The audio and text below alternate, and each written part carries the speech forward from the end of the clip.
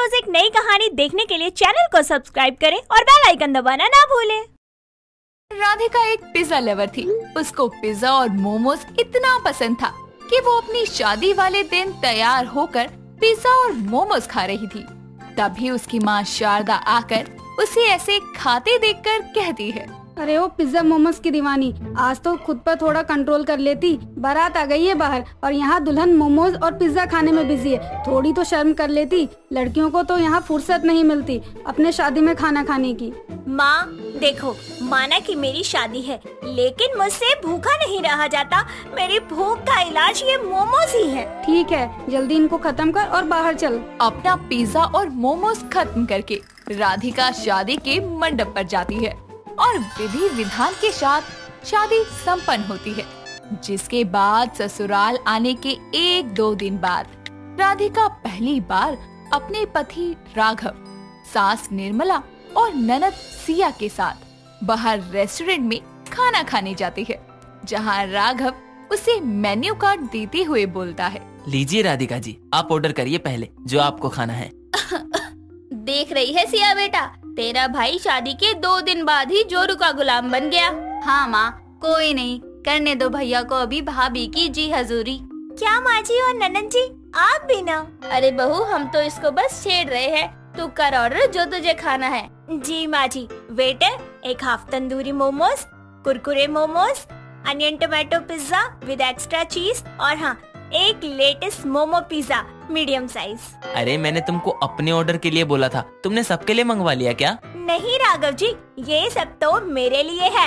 ये लीजिए menu card आपको जो पसंद है आप वो ऑर्डर कर दीजिए। राघव और उसकी माँ एक दूसरे की शक्ल देखते हैं और फिर बेचारे अपने लिए भी कुछ ऑर्डर कर देते हैं। कुछ देर में सबका ऑर्डर आता है और राधिका के आगे मोमोज और पिज्जा रख दिया जाता है। और निर्मला उससे बोलती है। अरे बहू तूने तो बस अलग अलग वैरायटी की सेम चीज़ मंगवा ली। इसमें क्या स्वाद आएगा? माँ जी मोमोज और पिज्जा मेरी जान है। इनकी सेम टू सेम वेराइटियाँ मैं सौ बार क्या हज़ार बार भी खा सकती हूँ। तो ये तो फिर भी अलग अलग है। आपको इतने पसंद है भाभी मोमो और पिज्जा? बहुत ज़्यादा। चलो अब खाते हैं वरना सब ठंडा हो जाएगा। राधिका सबसे पहले इतने सारे खाने को खत्म कर लेती है। और ये देखकर राघव बोलता है खाना खाया है या गटका है? इतना सारा अकेले खा लिया वो भी इतनी जल्दी। सच में यार तुम तो कमाल हो। पूरा परिवार खाना खाकर घर आता है और आराम से अपने अपने कमरे में जाकर सो जाता है। ऐसे ही दिन गुजरते हैं। एक सुबह निर्मला रसोई में काम कर रही थी।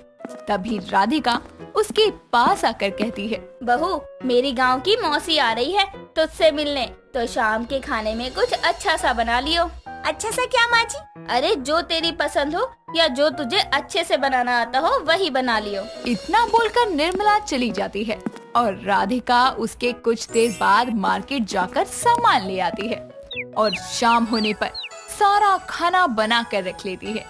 इतने में घर के दरवाजे पर दस्तक होती है और निर्मला अपनी गाँव की मौसी सुलोचना का स्वागत करते हुए बोलती है। आओ आओ मौसी और कैसी हो? ठीक हो ना? गाँव में सब कैसे हैं? सोहन भैया और भाभी ठीक तो हैं? अरे अरे सुलोचना सब ठीक है। लेकिन तू इन सब की जानकारी बैठ कर ले लियो। इस उम्र में मुझसे ज़्यादा देर खड़े नहीं हुआ जाता। आइए आइए मौसी बैठिए। बहू चाय पानी लेकर आओ बेटा। राधिका हाथों में शरबत लिए बाहर आती है और उसको टेबल पर रख कर सुलोचना के पैर छूकर कहती है। नमस्ते दादी मासी जी कैसी हैं आप? और सफ़र कैसा रहा आपका? मैं बढ़िया बहू सफ़र भी अच्छा निकल गया। अरे निर्मला बहू तो तू बड़ी सुंदर और गुणी चुन के लाई है लल्ला के लिए। बस मासी जहाँ किस्मत वहाँ संजोग जुड़ गए। अब आप ज़्यादा बातें मत करिए कमरे में जाकर फ्रेश हो जाइए। लंबा सफ़र था भूख लगी होगी। बहू ने अपने हाथों से आपके लिए खाना बनाया है। सच में? ये तो बहुत अच्छी बात है। मैं अभी आती हूँ। सुलोचना अपने कमरे से फ्रेश होकर बाहर आती है। तब तक राघव ऑफ़िस से और सिया कॉलेज से घर आ जाती है और पूरा परिवार खाने की टेबल पर बैठ जाता है। तो राधिका वहाँ सबके सामने पिज्जा और मोमो सर्व करती है। ये देखकर निर्मला बोलती है। बहू ये क्या? मैंने तुझे कहा था कि कुछ अच्छा बना लियो जो तुझे आता हो। बाज़ार से मंगवाने को नहीं कहा था और वो भी ये मोमोज और पिज्जा। माँ जी मैंने बाहर से नहीं मंगवाए हैं घर पर ही बनाए हैं। अरे यही तो दो चीज़ें हैं जो मुझे अच्छे से बनानी आती हैं। लेकिन भाभी दादी से कैसे खाएँगी? अरे तू मेरी चिंता मत कर।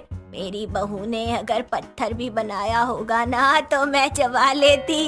ला बहू, दे, ये लीजिए मासी दादी जी, और खाकर बताइए कैसा बना है। राधिका सबको अपना बनाया पिज्जा और मोमो सर्व करती है, जिसके बाद उसको खाकर सुलोचना समेत सब राधिका की तारीफ़ करते हैं। और इतना ही नहीं, सुलोचना तो जितने दिन वहाँ रहती, उतने दिन रोज राधिका से मोमोज और पिज्जा बनवा बनवा कर खाती रहती।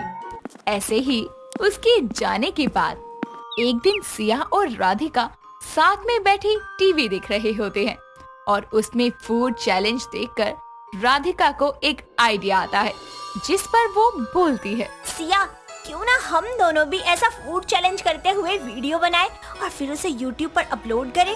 भाभी आप फ़ूड ब्लॉगर बनना चाहती हो क्या? नहीं देखो फ़ूड ब्लॉगर तो अलग अलग जगह जाकर बढ़िया खाना खाते हैं, वीडियोस बनाते हैं, फिर अपलोड करते हैं। लेकिन हम घर में रहकर ये सब कुछ करेंगे। हम दो प्लेट में एक जैसा खाना परोस लेंगे, फिर खाने का कंपटीशन करेंगे। जो जीतेगा, वो हारने वाले को पनिशमेंट देगा। कैसा लगा मेरा आइडिया आइडिया तो अच्छा है। एक वीडियो बनाकर अपलोड करके देखते हैं। अगर चल गई तो आगे भी बना लिया करेंगे। राधिका अपने आइडिया पर काम करना शुरू करती है। और अगले दिन राघव और सिया के साथ मिलकर बहुत सारे मोमोज बनाकर वो दो प्लेट में बराबर मोमोज रखकर राघव को वीडियो बनाने का काम देकर सिया को अपने सामने बैठाते हुए बोलती है। वेलकम दोस्तों स्वागत है आपका हमारे चैनल में जिसका नाम है भुक्कर ननन भाभी। तो दोस्तों आज हम आपके सामने एक चैलेंज वीडियो लाए हैं। इसमें मैं और मेरी भाभी मोमोज प्रतियोगिता करेंगे। हम दोनों की प्लेट में बराबर बराबर मोमोज हैं। जिसने भी पाँच मिनट के अंदर ये सारे मोमोज खत्म कर दिए वो जीत जाएगा और फिर जीतने वाला हारने वाले को पनिशमेंट देगा। तो चलिए गाइस शुरू करते हैं। टाइमर लगाकर दोनों ननद भाभी अपने चैनल के लिए मोमो प्रतियोगिता का वीडियो बनाती हैं और बहुत सारे मोमोज खाती हैं जिसमें जीत राधिका की होती है। उस वीडियो में वो सिया को पनिशमेंट देकर उस वीडियो को पूरा करती है और फिर एडिटिंग करके अपलोड कर देती है। जिसके बाद देखते ही देखते उनका न्यू चैनल रातों रात ट्रेंडिंग में आ जाता है और पहली ही वीडियो में उनके एक लाख सब्सक्राइबर हो जाते हैं। ये देखकर राघव खुशी से राधिका को कहता है वाह राधिका तुमने तो कमाल कर दिया।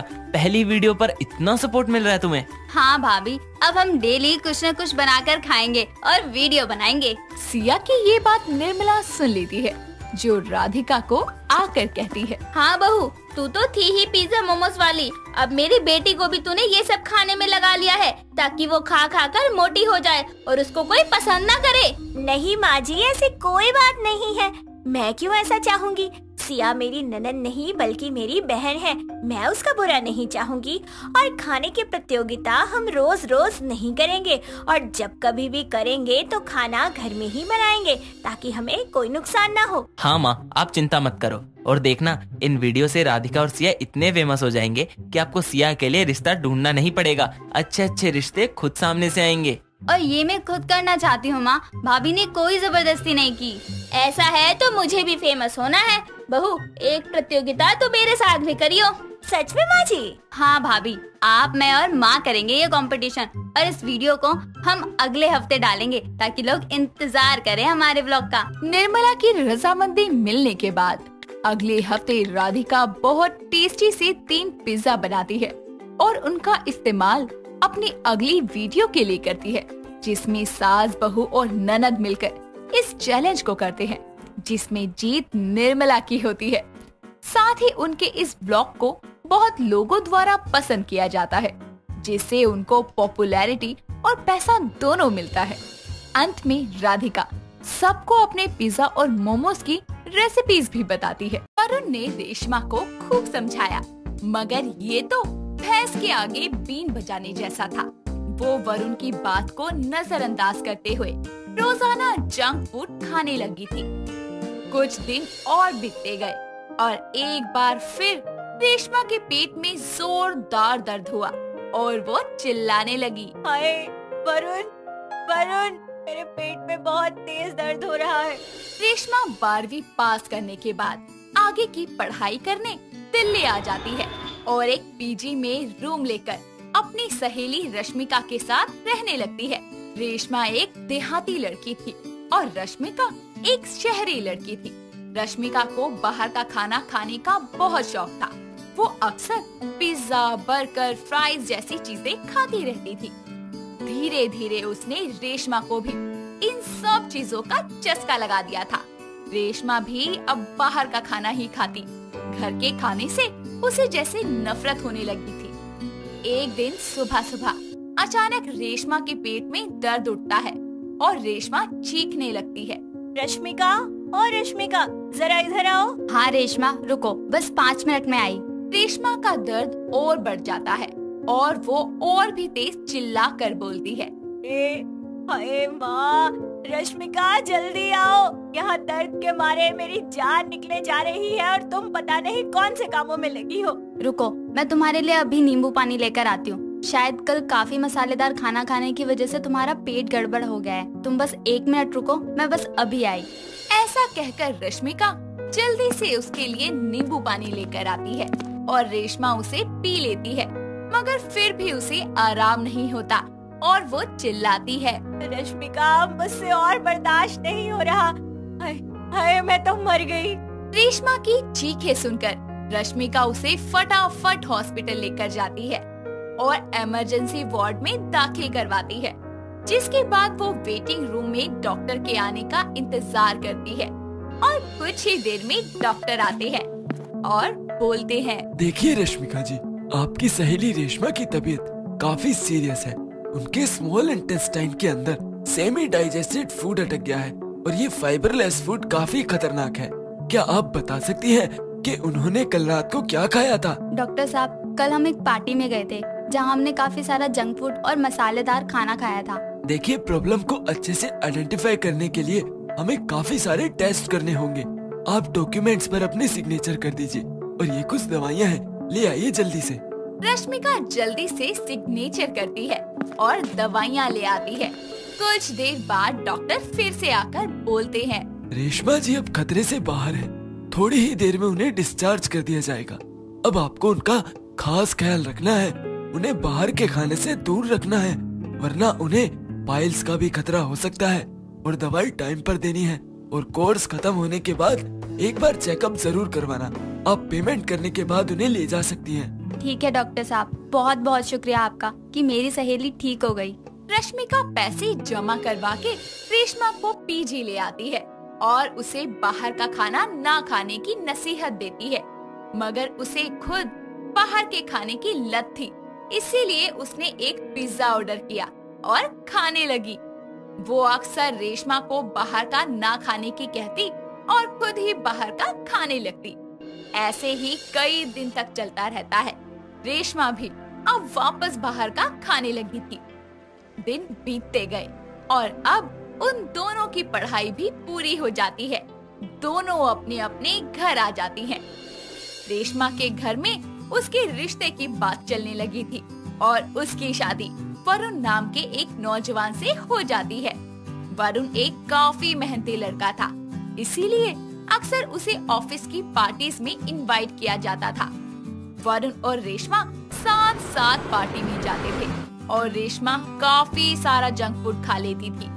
एक दिन वरुण उसे टोक कर बोलता है यार ये बाहर का ऑयली खाना कितना हार्मफुल होता है बॉडी के लिए। पता है कुछ तुम्हें? आप है ना मुझे बताने के लिए? देखो रेशमा तुम्हें किडनी स्टोन हो जाएगा या फिर हार्ट इंजरीज भी हो सकती हैं।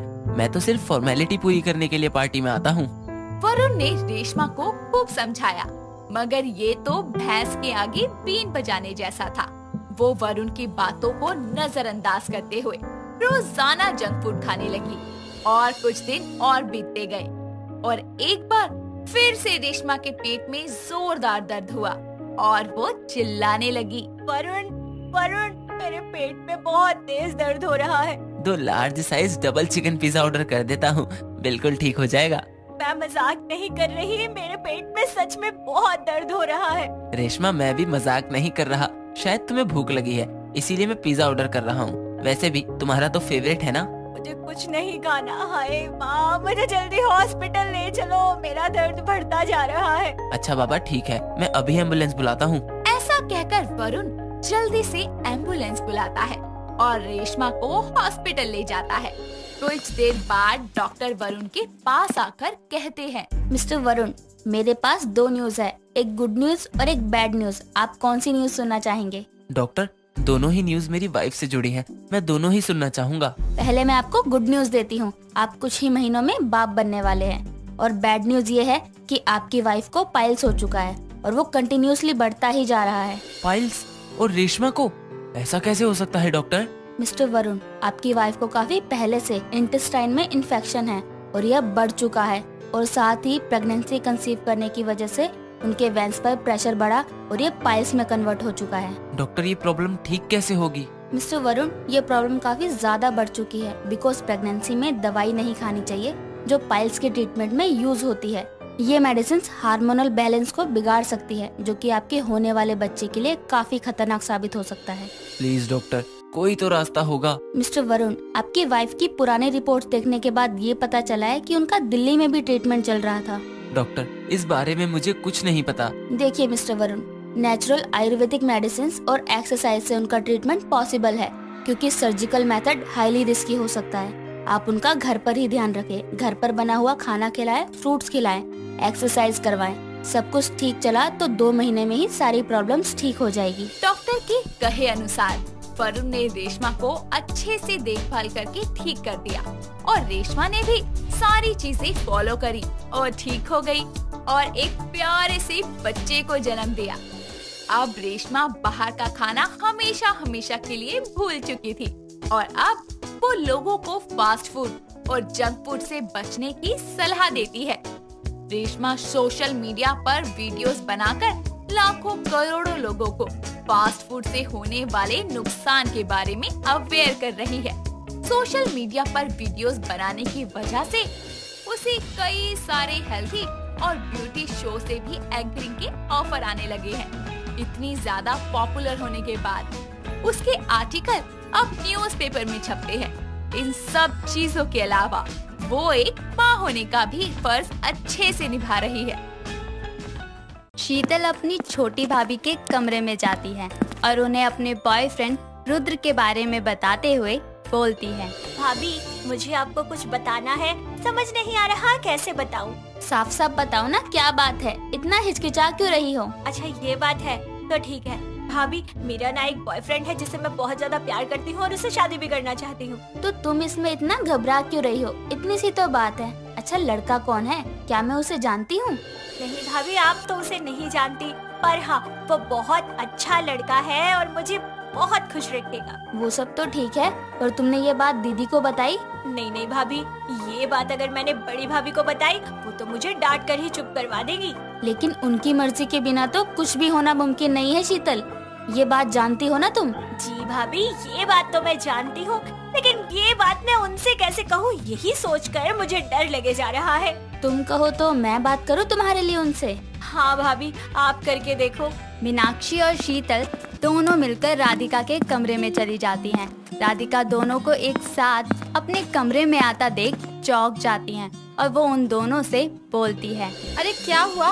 तुम दोनों एक साथ मेरे कमरे में क्या कर रही हो? दीदी मुझे आपसे कुछ बात करनी है। असल में हम दोनों को आपसे कुछ बात करनी है। ऐसी कौन सी बात है? हमारी शीतल जवान हो रही है। आपको नहीं लगता उसके हाथ पीले कर देने चाहिए? हाँ ये तो तुम सही कह रही हो बिल्कुल। मैं भी कब से यही सोच रही हूँ। तो सिर्फ़ सोचती रहेंगी या कुछ करेंगी भी? लड़का भी तो होना चाहिए ना मीना। ऐसे ही थोड़ी ना हो जाती है शादी। लड़का है ना भाभी? शीतल ने ढूंढ लिया है। शीतल ये सच है? और लड़का कौन है? कब से चल रहा है ये सब? ये सच है भाभी वो मेरे कॉलेज में ही पढ़ता है। हम दोनों चार साल से एक साथ हैं। और तुम हमें अब बता रही हो। वैसे लड़के का नाम क्या है? पहले बताकर क्या होता? शादी की उम्र तो मेरी अब हुई है ना? ये भी ठीक बात है। अच्छा नाम क्या है उसका? रुद्र। तो घर पर बुलाओ रुद्र को। ठीक है भाभी मैं आज बुला लेती हूँ। अच्छा अब मैं कॉलेज के लिए निकल रही हूँ। आप दोनों से शाम को मिलती हूँ। और मीनाक्षी भाभी आप जरा मेरे साथ नीचे आना।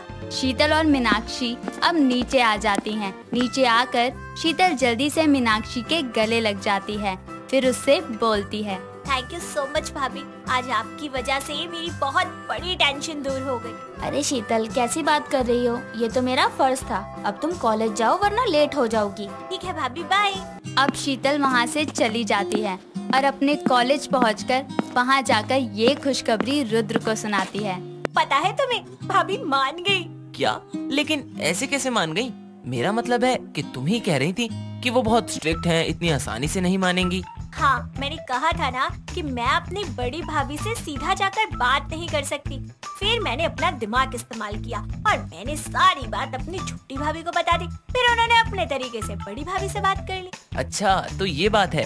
फिर क्या नतीजा निकला? भाभी ने ना तुम्हें घर बुलाया है वो तुमसे मिलना चाहती है। तो तुम आज ही कॉलेज के बाद मेरे साथ घर चलना। अच्छा ठीक है। मैं चलूँगा उनसे मिलने।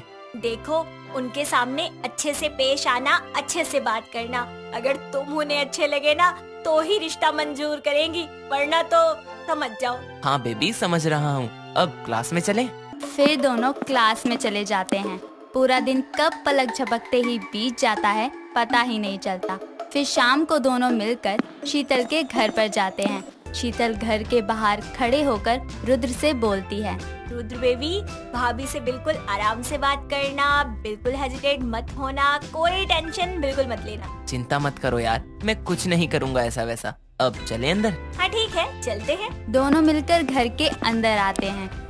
अंदर पहुँचते ही शीतल मीनाक्षी को आवाज़ लगाते हुए उससे बोलती है भाभी मैं घर आ गई।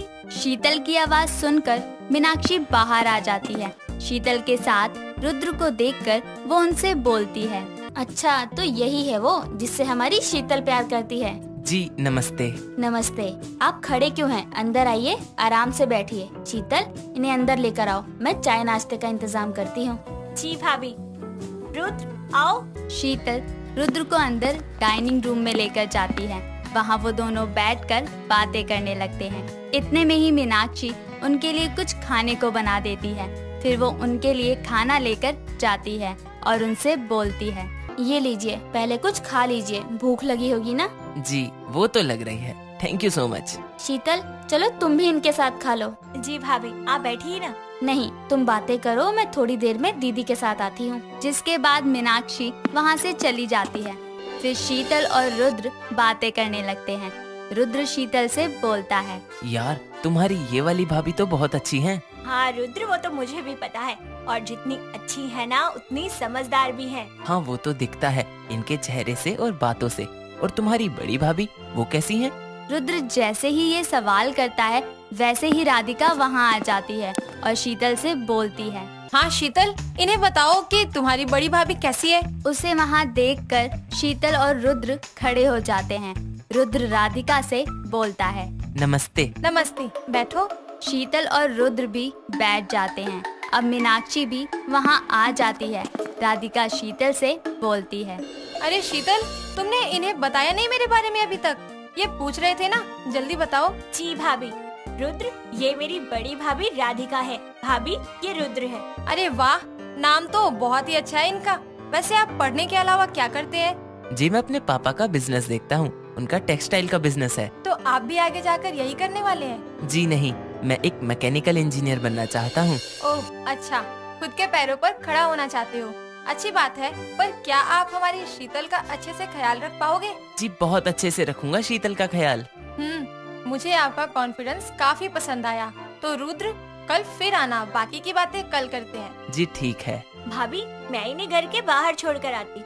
फिर शीतल रुद्र को घर से बाहर छोड़ने के लिए चली जाती है। बाहर आकर रुद्र शीतल से बोलता है। क्या लगता है तुम्हें? तुम्हारी भाभी को मैं कैसा लगा? मुझे लगता है कि तुम उन्हें पसंद आ गए इसलिए तुम्हें कल फिर बुलाया है। हाँ मुझे भी यही लगता है। क्या पता कल वो हमारा रोका ही कर दे। खैर कल देखते हैं। अभी मैं चलता हूँ। ठीक है आराम से जाना। रुद्र वहाँ से चला जाता है और शीतल भी घर में वापस आ जाती है। अंदर आने के बाद शीतल मीनाक्षी के पास जाती है और उससे बोलती है भाभी आपको क्या लगता है रुद्र बड़ी भाभी को पसंद आया होगा? मुझे लगता है कि उन्हें रुद्र अच्छे लगे हैं पर हो सकता है कि कुछ और बात हो इसलिए उन्होंने दोबारा बुलाया है रुद्र को कल। भाभी मुझे तो सोच कर ही घबराहट सी हो रही है। तुम बिल्कुल भी मत घबराओ और भगवान पर और अपने प्यार पर पूरा भरोसा रखो। चलो अब तुम जाकर सो जाओ बहुत थक गई होगी ना? कोई बात नहीं भाभी मैं हूँ ना मैं आपकी हेल्प कर देती हूँ। फिर दोनों ननंद भाभी मिलकर बर्तन धोने लगती हैं। उसके बाद अपने अपने कमरे में सोने के लिए चली जाती हैं। अगले दिन रुद्र वापस उनके घर आता है तो राधिका उससे बोलती है आओ बैठो और ये बताओ तुम तैयार हो ना? मैं कुछ समझा नहीं। तुम्हें शीतल से शादी करनी है या नहीं? जी वो तो करनी है जब भी मैं यहाँ आया हूँ। तो उसी के लिए पूछ रही हूँ तैयार हो ना? जी मैं पूरी तरह तैयार हूँ। ठीक है फिर शीतल इधर आकर बैठो इनके साथ। जी भाभी। शीतल रुद्र के साइड में बैठ जाती है और फिर राधिका मीनाक्षी से कहती है मीना जाओ कमरे में कुछ सामान पड़ा है इसको लेकर आओ। जी दीदी अभी लाती हूँ। मीनाक्षी अंदर कमरे से सामान लेकर आ जाती है फिर राधिका रुद्र से बोलती है ये लो अंगूठी रुद्र और शीतल को पहना दो और आज से शीतल तुम्हारी ज़िम्मेदारी होगी। जी ठीक है और मैं इस ज़िम्मेदारी को पूरी ज़िंदगी बड़े ही प्यार से निभाऊँगा। ये लो शीतल तुम भी पहना दो। जी भाभी बहुत बहुत मुबारक हो। फिर दोनों, राधिका और मीनाक्षी के पैर छूकर उनसे आशीर्वाद लेते हैं और कुछ दिनों बाद राधिका उनकी शादी भी करवा देती है। फिर सब खुशी खुशी अपनी ज़िंदगी बिताने लगते हैं। दोस्तों, अगर आपको ये कहानी पसंद आई तो इसे लाइक करें शेयर करें और कमेंट करके बताएँ कि कहानी में आपको सबसे अच्छा क्या लगा।